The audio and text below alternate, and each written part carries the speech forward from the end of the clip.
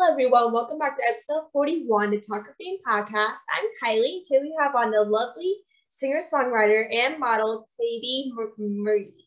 Thanks so much for coming on, Taydee. It's, I'm so happy to have you on.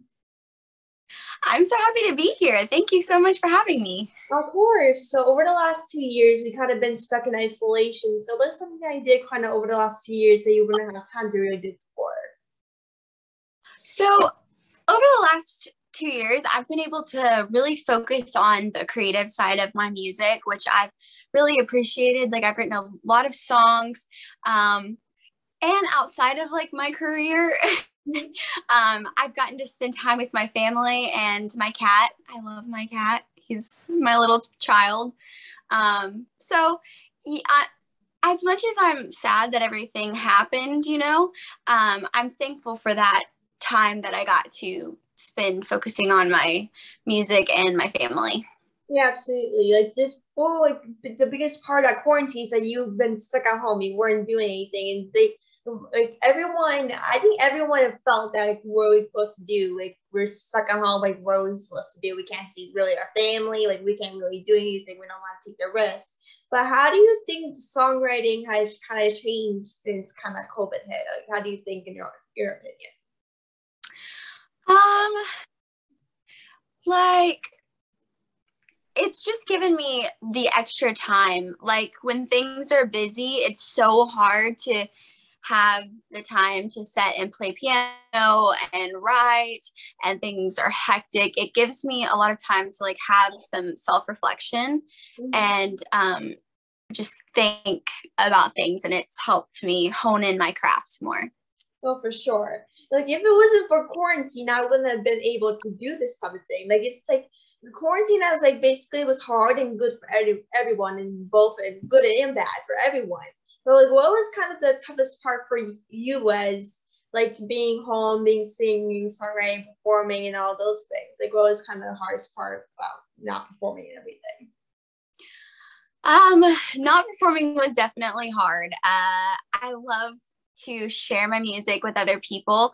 Um, but I am thankful for um, social media. Like, I kind of have a love hate relationship with social media because, in a sense, I feel like it takes away from face to face contact with people.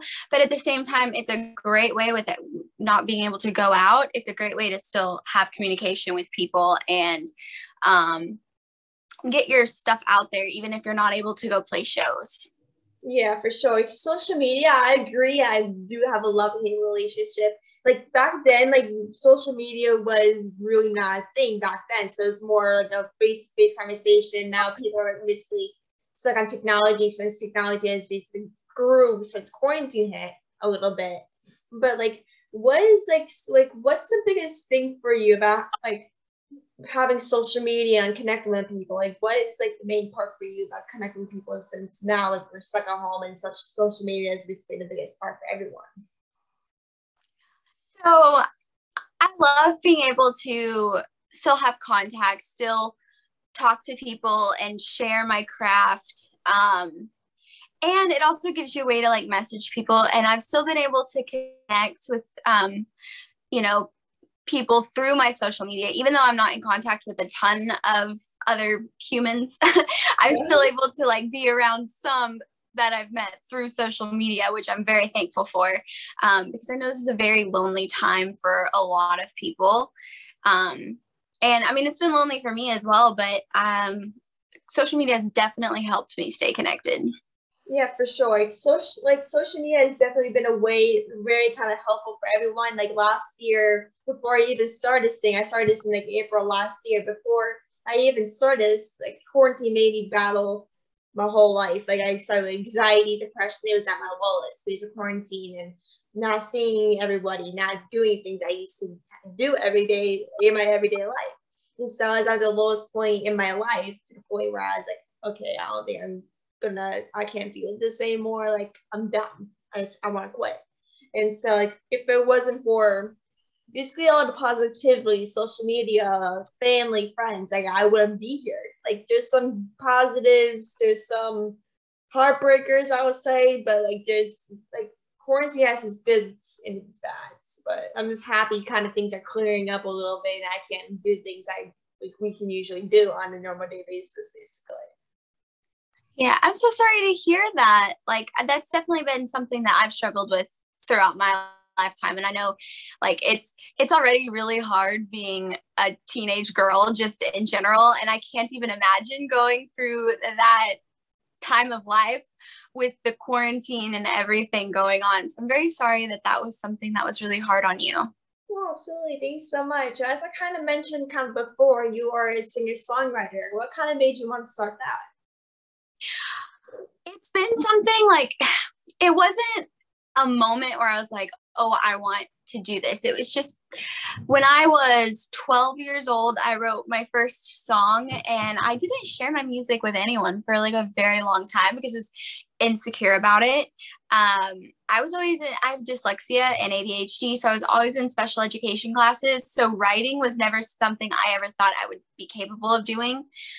Um, but then I had been writing songs for a few years, and when I was 14, I asked my parents for a keyboard and I literally put the keyboard inside my closet, and that's where I would practice and write. Um, that opened up a whole new world of songwriting, and but still, like the only people that ever heard my songs were my family until I turned 18 and I moved out to California. And then I was like, you know what? I'm going to share my music with people. Oh, that's awesome. Like I was always like a very kind of shy kid as a little kid. Like I was always independent, like reserved a little bit. I was always in my own little kind of space. And so mm-hmm. I, once I came out with the podcast idea, like my cousins are journalists for my local news station down here in Pennsylvania. And so oh, wow. like, and so they kind of kind of started off for me. I was like, how is a small town girl, a very shy girl, supposed to do a podcast? Like, how is that? That's not normal for me to do these all people know me as as a very kind of shy girl. People that basically grew up with me and stuff. And I was like, um, like people when people think of it, uh, me doing it, they're like, um, random. That's ra- random. But then I was like, I grew out bit in confidence. I was like, if I don't like it, I might as well just do it because I always wanted to be in the industry one day, but I just didn't know what exactly I wanted to do in the industry. So I was like, what am I gonna do? So I tried this out in April of last year, and I was like, oh wow, well I'm still doing this. So I'm so shy little girl in a small town, but nothing has changed. But for, so like 40 episodes later, I'm still doing this. So that's amazing.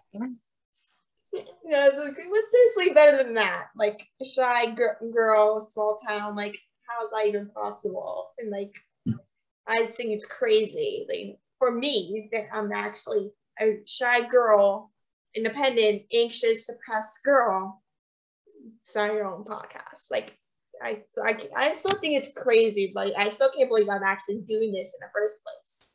You know what I mean? But it's awesome that you stepped out of your comfort zone to do it, you know? Like yeah. that's very brave of you. And I feel like a lot of girls your age might be too scared. And it's really impressive that not only did you step out of your comfort zone, but you've been so consistent with it? Yeah, for sure. So um, throughout your platform, you'd love to bring out like positivity. Why is it kind of important for you to share that throughout your platform and basically throughout the world, basically?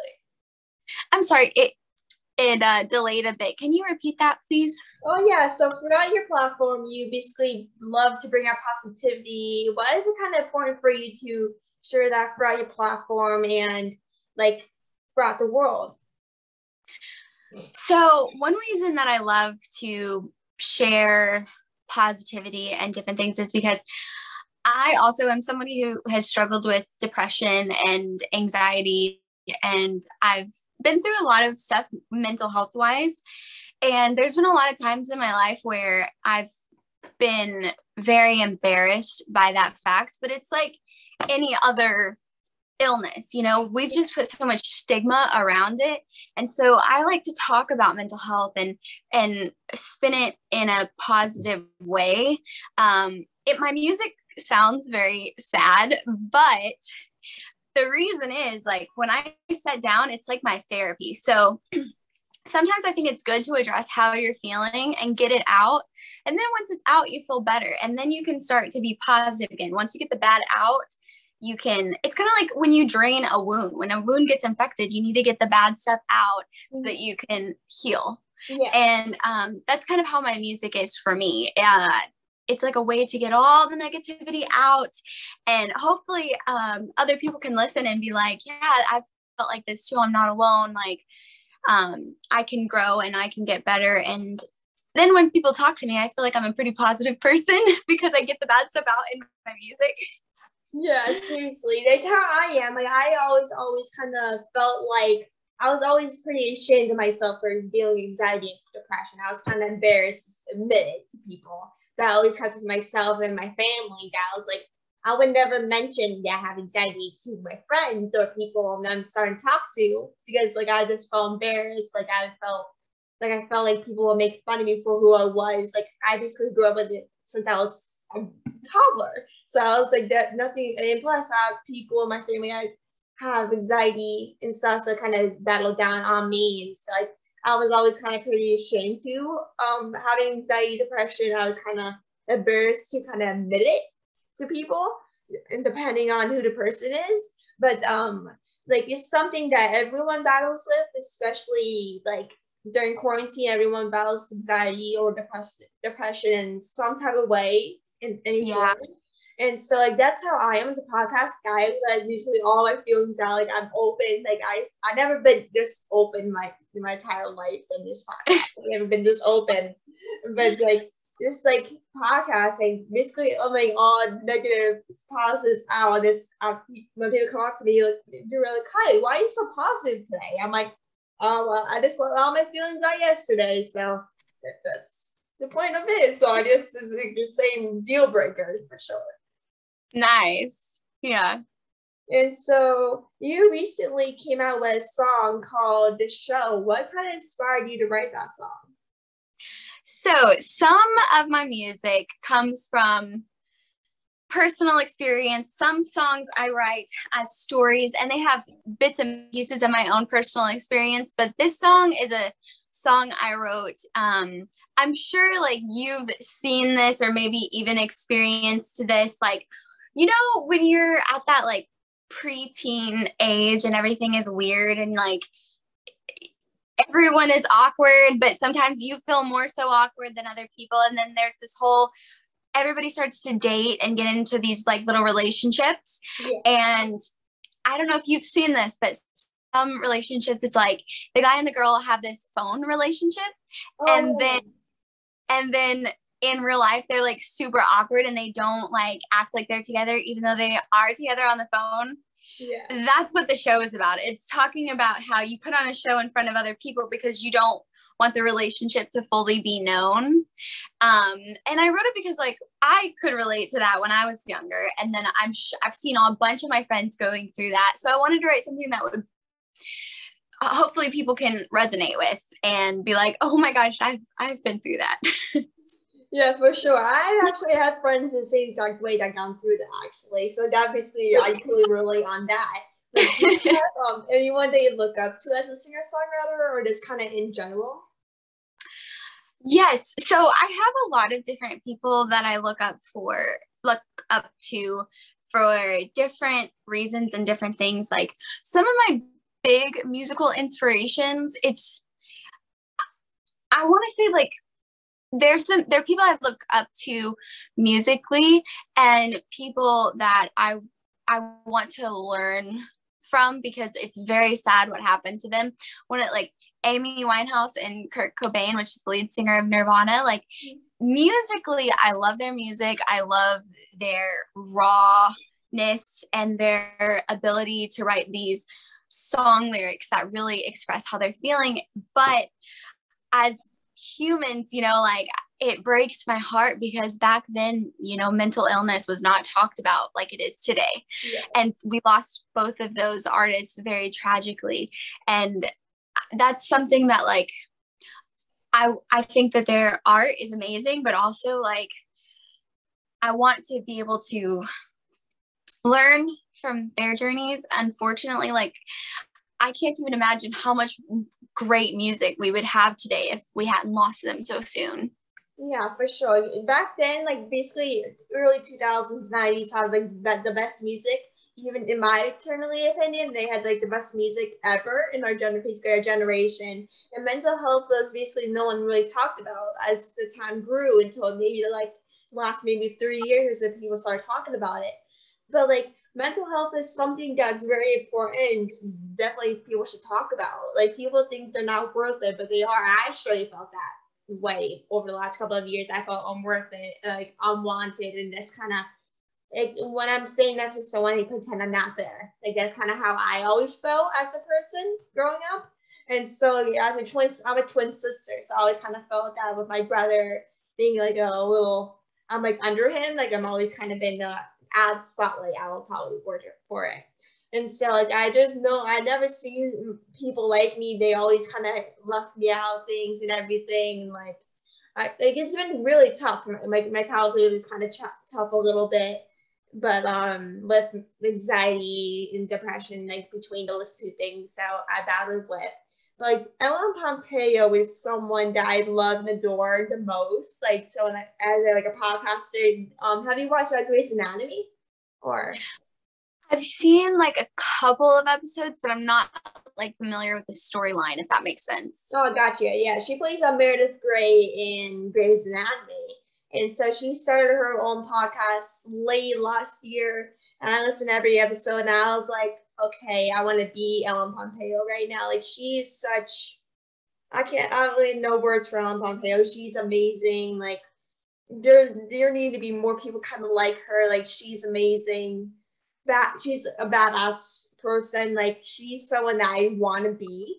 Like someone I really want. She's very um, open, very like sassy, very kind of open, and wants to get things done. And I was like, once I kind of became a fan of her, I was like, I want to be her one day. I want to be her. Aww. So and I always kind of want to be, and she's like open and always tells the truth. And I was like, okay, I'm gonna grow and be like that. Like this, she's one of those people that is like, I'm like, okay, there's, I can go on about. I'm hated. Like she's one of those people.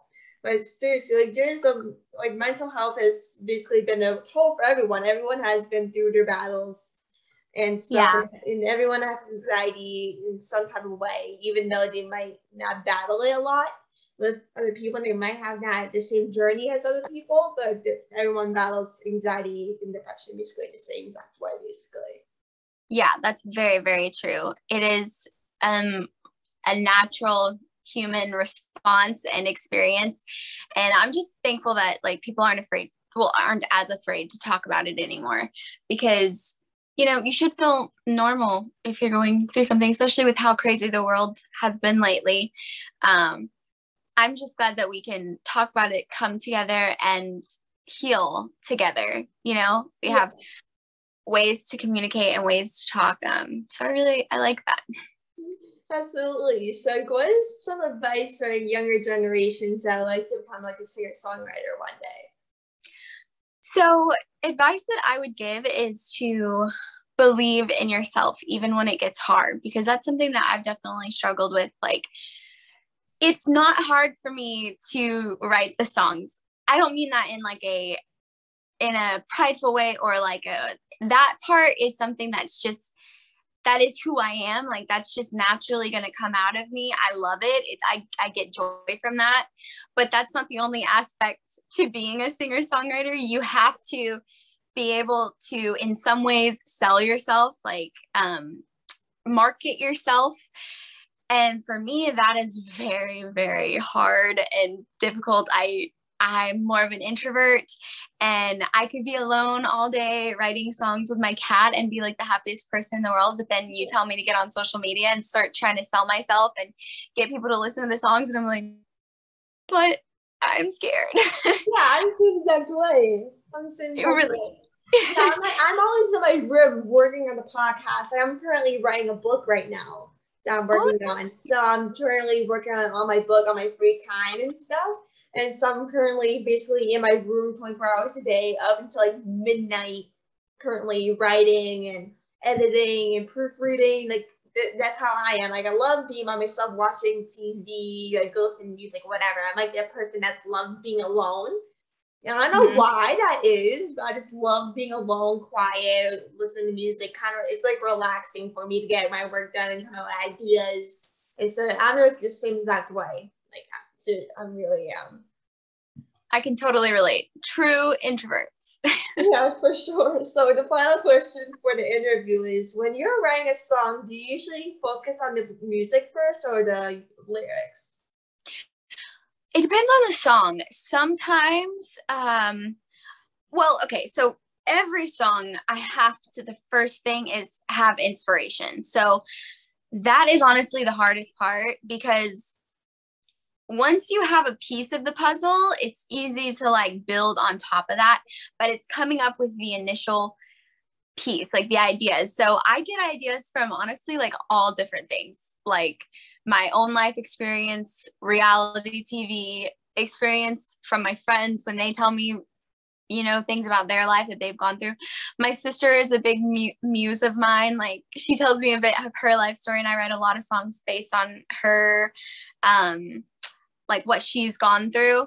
And but so when it comes to like actually sitting down and writing, um, it really just depends on the song. Sometimes it's like a melody that comes in my head. Um, sometimes it's the lyrics. Sometimes I set at piano at the piano when I just start playing, and then lyrics start to come to my head. But yeah, inspiration is definitely the hardest part, and yeah. the part you have to come up with first. yeah, for sure. While I'm currently writing the book, like my book, I'm currently writing. Like the inspiration is like the hardest part for me as well when I'm currently writing something, I'm like, okay, like I'm not getting inspiration. Then while I'm not working, when I'm trying to take a nap or, nap or something, when I'm not focusing on it, I'm like, the ideas and stuff. I'm like, are you kidding me right now? Like, I'm, inspiration's coming to me while I'm not even focusing on it. And so I'm like, I just get up and start typing it. Just don't sleep at all. And so like it is inspiration is like the hardest part for me. Even though like there's a show that really inspired me to write a book was the truth about the Harry Quebert affair. I don't know if you ever heard of it or watched it. It's no, I haven't. Dempsey. It's about these two writers. This guy goes to jail, and so like this guy's for like like dating like a 15 year old girl or something. Like I don't want to give the backstory up a little bit, spoilers, but he's a writer and he wrote a book about this 15 year old girl he was seeing there's a little crazy story about basically, but he initially wrote a book about his life and inspirations and all those things. I'm like, okay, I need, I want to write a book right now. This kind of inspired me to grab a book. So I need inspiration, I write, see that show. If you haven't seen that show, I totally recommend. It's really, really good. It's on um, Prime Video, I think. So I totally nice. recommend. What was the name again? Uh, the truth about the Harry Quebert affair. The truth about the Harry Quebert affair. Okay, nice. Yeah, yeah no, I'll definitely so check that out. Whenever I need inspiration, I usually go through Watch Ashram and get okay, this will probably give me ideas for writing and things will pop up in my head. But um, I just want to thank you so much for coming on the podcast. It means so much. It was so great to talk to you. You're amazing at what you do. And seriously, you're amazing. And I just want to thank you so much for coming on the podcast. It means so much. Thank you so, so much for having me. It was a pleasure getting to talk to you and being interviewed by you. And I'm honestly like, I think it's so cool that you're doing this at such a young age and um, stepping out of your comfort zone at such a young age. I'm also an introvert, so I know it's not easy, but I'm very impressed by you. And I feel honored to get to come on here and talk to you. Thank you so much. It means so much. Thank you so much. And we'll definitely speak soon for sure. Thank you so much. Great. Thank you. Of course. Have a good rest of your day. Thanks. You too.